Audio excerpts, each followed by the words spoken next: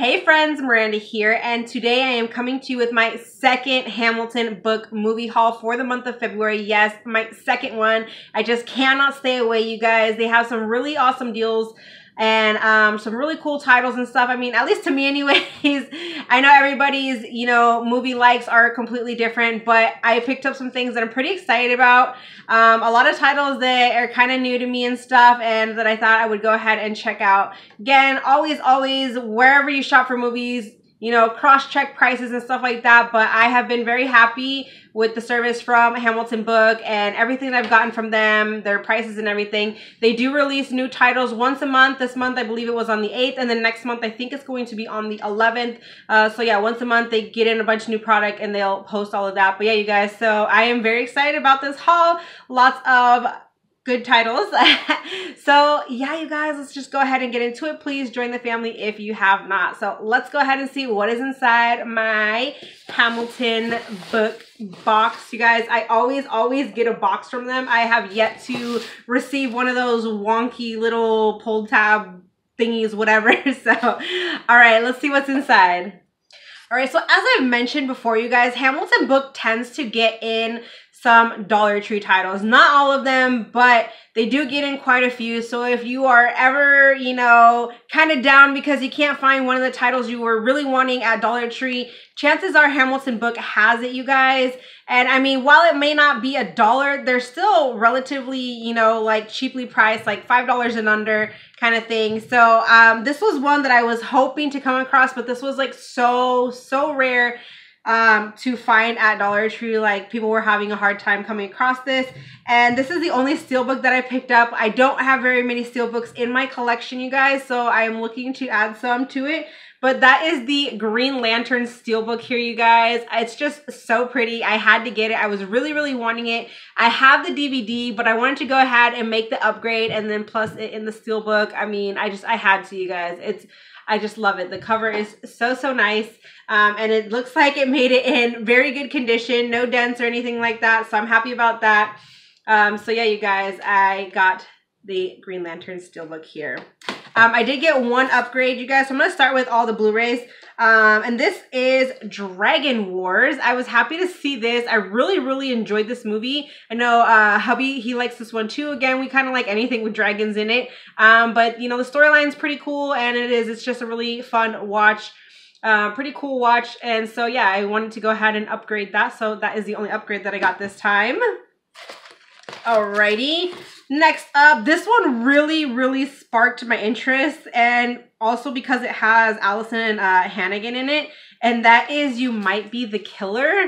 Not familiar with this title, but it actually looks like a pretty fun watch. And like I said, the storyline caught my interest. So I'm excited to check that one out.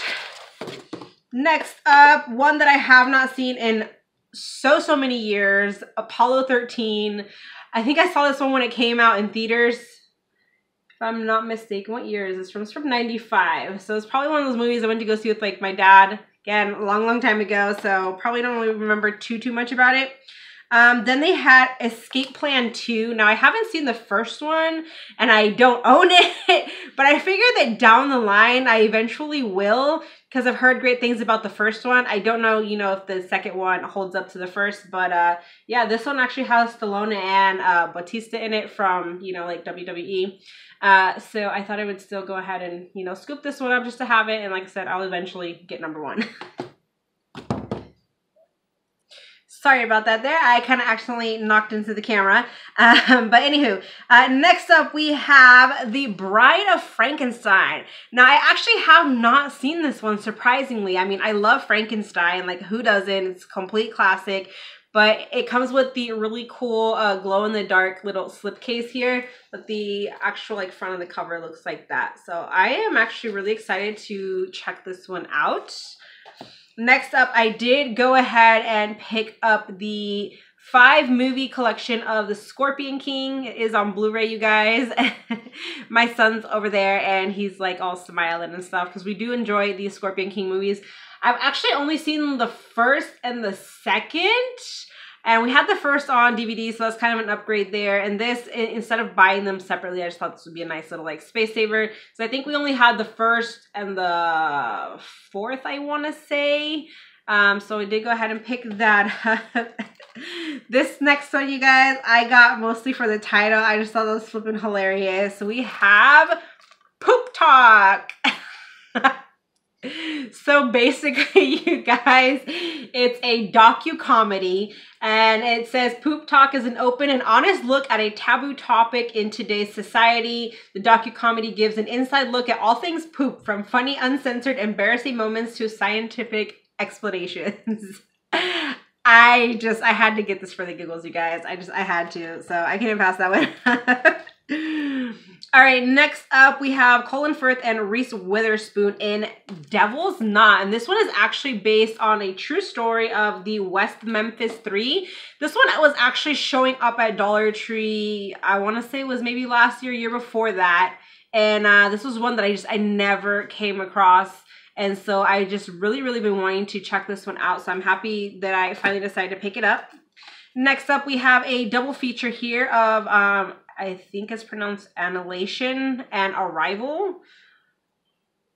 Both I don't think I've seen, so I'm excited to, you know, check those ones out. This is one too that I've been wanting to see and I've heard great things about and I just realized Omar Epps is in this. Oh my goodness. I also have Ellen Adair, Kristina Reyes, Jamie Kennedy, and Tom Atkins. And it's from the director of My Bloody Valentine, and that is Trick another one to add to my horror collection. And then I went ahead and picked up the uh, three film set of Paranormal Activity. I'm not the biggest fan of these movies, to be honest, but I thought, why not? It was inexpensive, you guys. And, it, you know, I've seen the first one maybe the second. I don't think I've seen the third one, but you know, I thought I would go ahead and give these another try, revisit them and stuff. So got that. And then the last Blu-ray that I got is National Lampoon's Animal House. All right, and the rest of the movies are DVDs, you guys. I did actually pick up several this time around. Some of them I'm actually pretty excited about. So first up, we have like the original Pink Panther six film collection. This one stars uh, Peter Sellers in it. You have the Pink Panther, which is from 1964.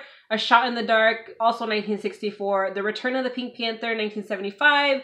Uh, the Pink Panther Strikes Again, 1976. Revenge of the Pink Panther, 1978. And Trail of the Pink Panther, 1982.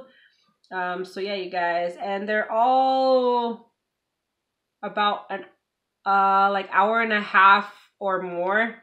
So they range from like 97 minutes to I think the 115 minutes. So yeah, you guys, I just thought this was a pretty cool find. I'm excited to check this out. I love the obviously the remakes with Steve Martin in it, but I have not seen any of the original Pink Panthers in such a long, long time. So I'm actually really excited to, you know, revisit these and watch those. So yeah, Next up, this one kind of caught my interest. Not normally something I would be into, but um, the storyline seemed like something I would enjoy. You have Paulette Goddard in Diary of a Chambermaid, and I do believe there's actually like a remake of it or semi-new version. I don't know.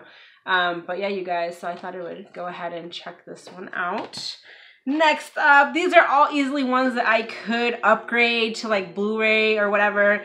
But um, I think the only one I haven't seen is Mobsters. But we have this Gangsters four movie spotlight series. You have Casino, Carlito's Way, Carlito's Way, Rise to Power, and Mobsters.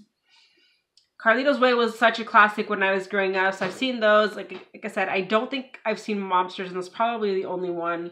Um, Casino, it's been a long time too since I've seen that, so this will be nice to revisit.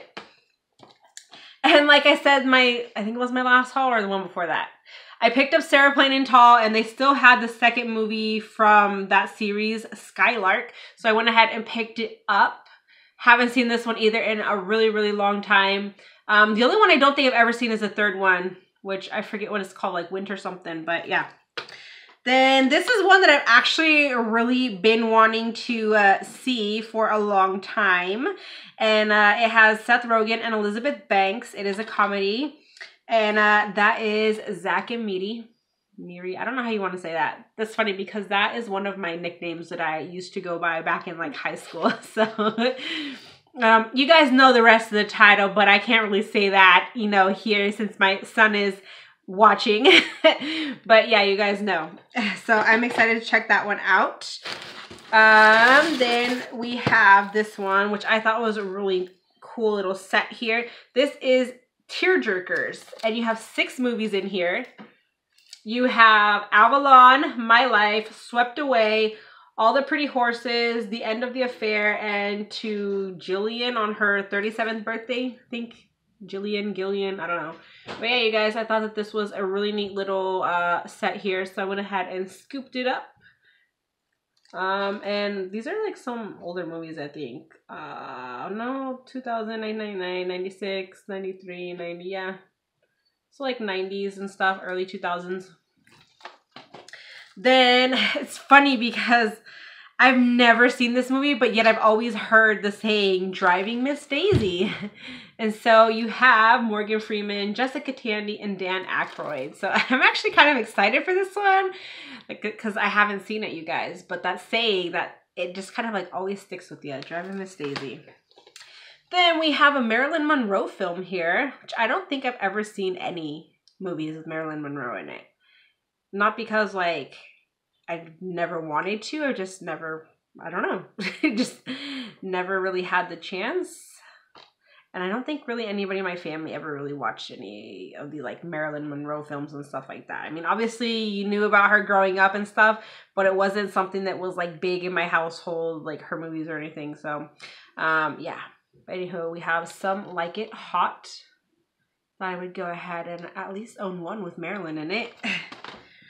Next up, we have Attack of the Killer Bees 10 movie collection, you guys. Um, the majority, like seven of them are in black and white, and the rest are in color, but they range from like 63 minutes up to 87 minutes. But in here, so all the ones in black and white are the Phantom from 10,000 Leagues from 1956, Attack of the Giant Leeches uh, from 1959, The Giant Gila Monster, I'm not sure if that's how you want to pronounce it, G-I-L-A, Gila, Gila, uh, from 1959, The Killer Shrews, 1959, Teenagers from Outer Space, 1959. That one sounds so, so familiar. I feel like I've possibly seen that one um, and possibly Attack of the Giant Leeches. Um, you also have Wasp Woman from 1960, and then The Brain That Wouldn't Die from 1962. Uh, then the three in color, I have no idea how you want to pronounce that. Eegah, it's like E E G A H. it's a weird title. Uh, 1962, and then you have Night Fright from 1968 and then the last one is invasion of the bee girls 1973 i just thought this was a really cool really interesting set here so yeah. I wanted to go ahead and pick it up and check out some of the titles here. You know you got some more like you know black and white horror and stuff like that so i thought that was pretty cool. So i'm excited to you know check out some of those films there. Uh, then we have one that I actually recently saw on an Instagram post, you guys and I don't know why it just really like kind of caught my interest. And um, it's this horror movie called Boar. I have no oh. idea. A killer boar. We shall see. then we have this four feature film. Um, two of these I actually already own, but this will make a good space saver. So we have definitely maybe Love Actually, which are the two that I already own. I have Notting Hill and Because I Said So. I have not seen either of these two. Um, I actually still need to watch Love Actually. A friend she sent me the movie and I still haven't watched it, which I definitely need to get on that.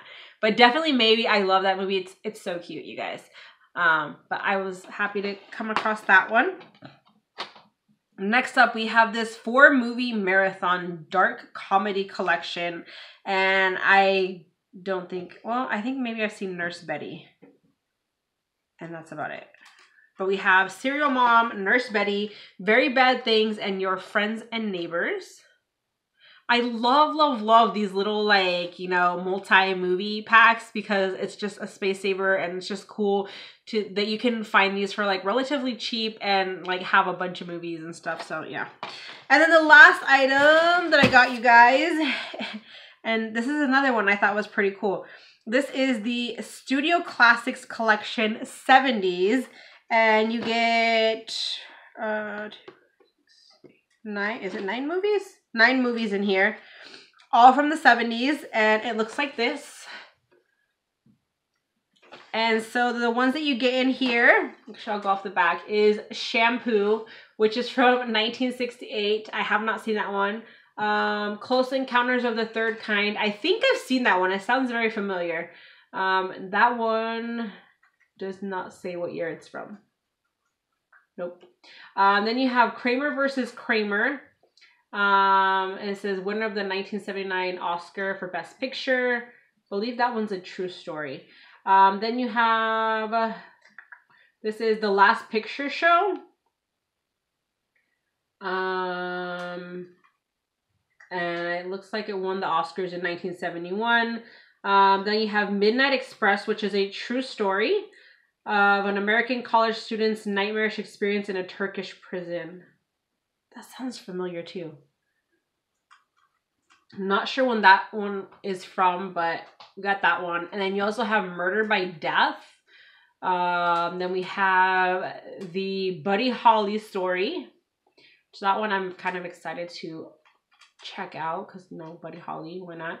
Then you have Taxi Driver, which actually I own Taxi Driver, I think on Blu-ray. Um, but you know, it's part of the set, so why not? And then the last one in here is The Way We Were. And this has Barbra Streisand in it and Robert Redford. So I'm excited to check all of these out.